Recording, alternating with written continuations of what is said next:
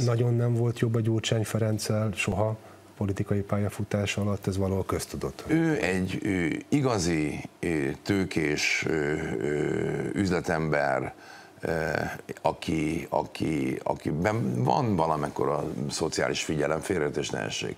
De a baloldalt az választja el a nem baloldaltól, hogy van-e kritikai hozzáállásom a kapitalizmushoz, vagy nincs. És itt nem csak Gyurcsány Ferenc, az összes többi ellenzéki párt áll van a mai magyar kapitalizmus, hogy egy szavuk nincs rá. Ez át is vezet a másik témára, a Kádár János tehát Igen. a lényegem, amit mondott. Ki szemezgettem állításokat ebből a tervből, ami a honlapjukon megtalálható.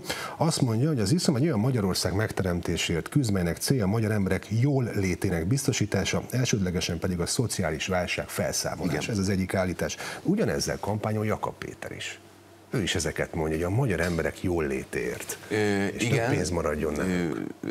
Mondjam, nem fog olyan politikus talán nekem ezzel kampányolni, Orbán Viktor is ezzel kampányol, bárki. Hát csak ő ismételgeti most ezt. Erre mondom azt, hogy amikor ülünk egy stúdióba, és akkor a potmétereket egyiket másikhoz hangolgatjuk, meg minden, és akkor ki tud erősebbet, az nem ugyanaz, mint amikor valaki benne, hogy gyerekek, most más zenét játszunk.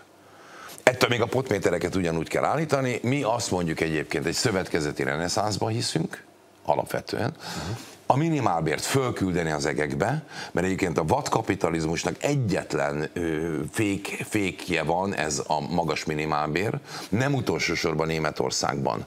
A jelenlegi... Ez a 250 ezer forint, ugye? Ő, ezt, igen, nettó 250 ezer. Németországban ugye most az a tét, azzal nyertek a szociáldemokraták, hogy 12 euró lesz az óránkénti minimálbér, ami azért hoppá-hoppá, az olyan 4000 forint környéke. Tehát a, a, a, a, igazából azt kell mondjam, hogy a valódi gazdag országokban a minimálbérek nagyon magasan vannak. Ezzel tudják fékezni azokat, hogy, hogy, hogy tényleg kizsákmányok rabszolgaként alkalmazzanak embereket, és ennek aztán van tovább gyűrűző hatása, mert ugye egy csomó olyan bejegyzett cég van Magyarországon, amit semmilyen kritérium alapján nem tekinthetünk vállalkozásnak. Csak most mondom rögtön őstermelő, ilyen nincs egy se, ez egy adózási kategória, miközben azt hiszük, hogy ez egy tevékenység. Amúgy egyébként nekem elég sok bajom van az őstermelőben, ez a szálasi Ferencnek volt a nagy találmánya, hogy az magyar őstermelés erre alapította azt a zavaros nyilas gazdaságpolitikáját.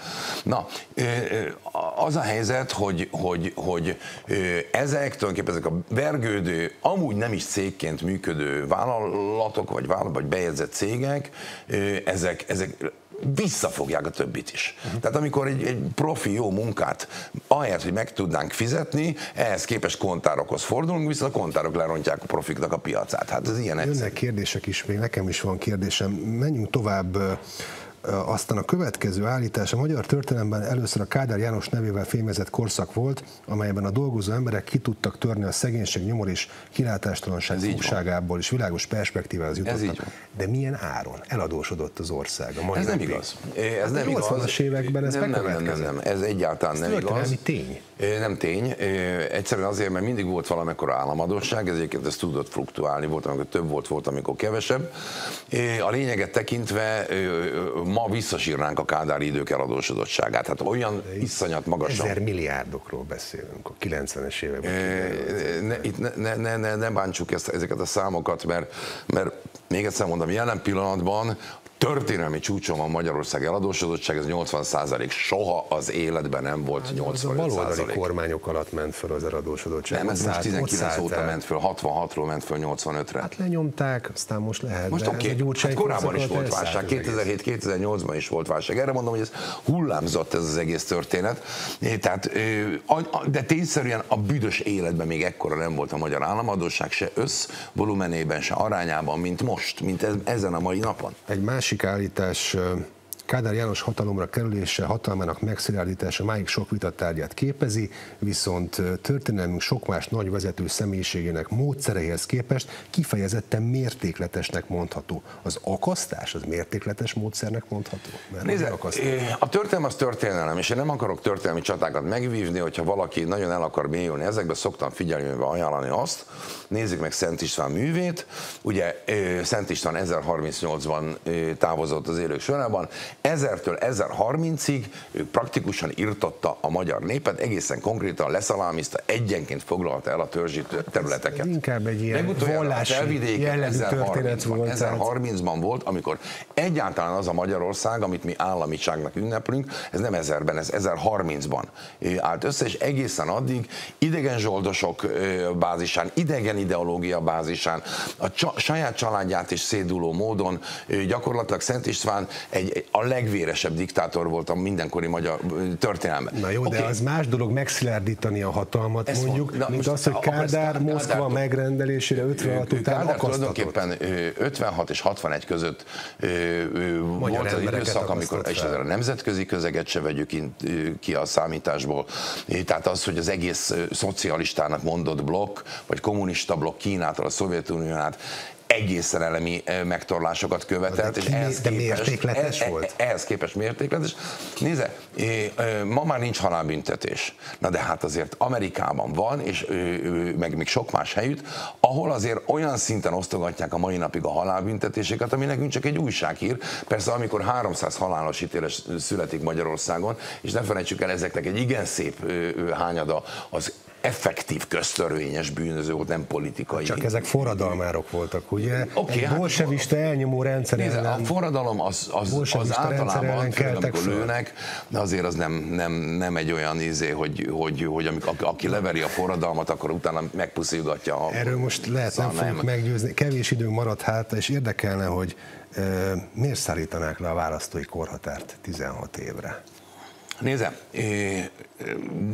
ön nálam jóval fiatalabb, és most nem akartam személyeskedni, de hogy ön visszagondol a 16 évére, és majd megnéz egy 16 évest, akkor már maga is látni fogja, hogy, hogy micsoda iszonyú különbség van. Az internet olyan szinten kinyitotta a 10 éves generációk számára a mindent, a mindent, de tényleg a mindent, hogy, hogy az valami elképesztő, és gyakorlatilag egy mai 16 évesnek a szellemi felkészültsége százszor erősebb, mint, mint, mint, mint, mint akár egy, vagy két, vagy három, vagy az én esetem akár négy évtizeddel ezelőtt.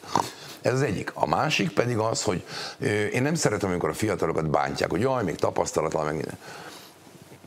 Nézze meg az internetet bárki tele van beszélni nem tudó, gondolkodni nem tudó félhülye alkoholistákkal, akik egyébként iszonyatos komoly szavazói magatartást tanúsítanak. Tehát azért én, én, én nem, nem értem, hogy miért kell most ezt ilyen korosztályosra tenni, de egyébként a 16 év, a 16 év az de facto 18. Mert ugye, aki éppen még nem fér be 16 évesen, az legközelebb 22 évesen fog tudni szavazni, ugye? Tehát azért mondom, hogy korátlag átlagot tekintve ez 18, én szerintem ezt a korátlagot be lehet lőni, ennek az az ára, hogy 16 éves kortól, Egyébként Ausztriában, a szomszédos Ausztriában ez így van, nem haltak bele, úgyhogy én azt gondolom, hogy nekünk se árt. És a legfőbb indokom, azok a döntések itt 2030-2050, ezek a határidők itt. 10 másodperc. Oké, okay, klímaváltozás, csak ezt az egyet mondom.